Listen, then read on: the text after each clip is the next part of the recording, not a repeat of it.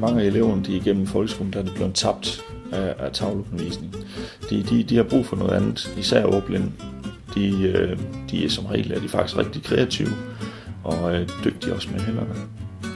Og har brug for at, at prøve sig frem med hænderne, i stedet for at de bare prøver sig frem på et stykke papir. De synes, det er fedt.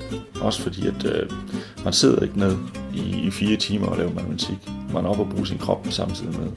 Så det giver også en lille afbræk fra, fra at skulle sidde ned hele tiden. Det handler om i sidste ende, at øh, vi klæder eleverne bedre på til at kunne gennemføre erhvervsfaglig undervisning. Altså på teknisk skole og også på de andre videregående uddannelser som gymnasier og handelsskoler. De bliver engageret på en helt anden måde, som de ville have gjort ellers.